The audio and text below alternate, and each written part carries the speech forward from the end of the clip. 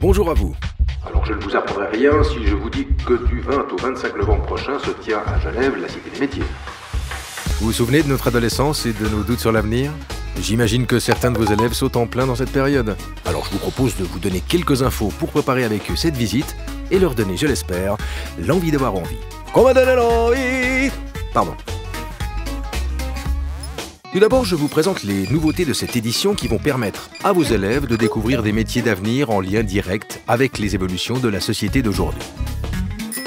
L'ONU présentera ses 17 objectifs de développement durable et les métiers qui y sont associés.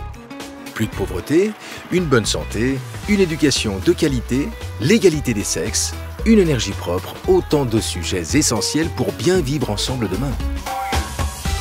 L'Observatoire astronomique de l'Université de Genève sensibilisera les élèves au métier de l'espace grâce à deux engins fabuleux.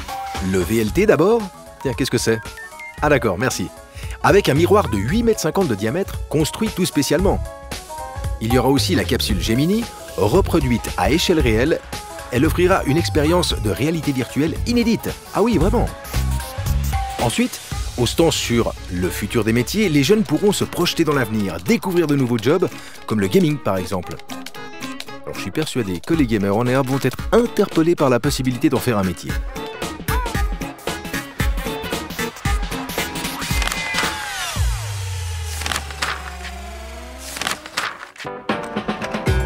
Il y aura aussi des hackathons sur les métiers de demain, avec la presse par exemple, qui souhaite, à travers des solutions innovantes, imaginer son futur en lien avec les attentes des jeunes.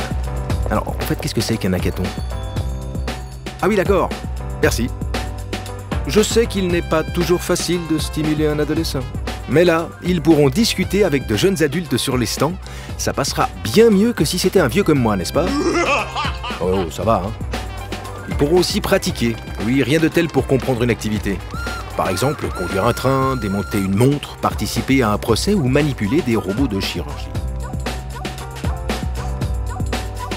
Ah, une autre nouveauté. Vous pourrez inscrire votre classe à des conférences ou ateliers au forum sur l'égalité homme-femme au travail par exemple, ou alors les métiers d'art et de design, le travail social ou l'addictologie. Des thèmes que vous pourrez reprendre en classe si ça vous dit, bien sûr. Je vous rappelle enfin que la Cité des métiers, c'est plus de 300 métiers et formations professionnelles mais aussi académiques, 200 exposants, un site web pour trouver facilement sa formation ou son métier, des visites guidées possibles en six langues, des accès handicapés et des facilités avec les TPG. Ah oui, j'allais oublier aussi, il y aura une séance d'infos pour les enseignants sur place le lundi 19 novembre à 17h.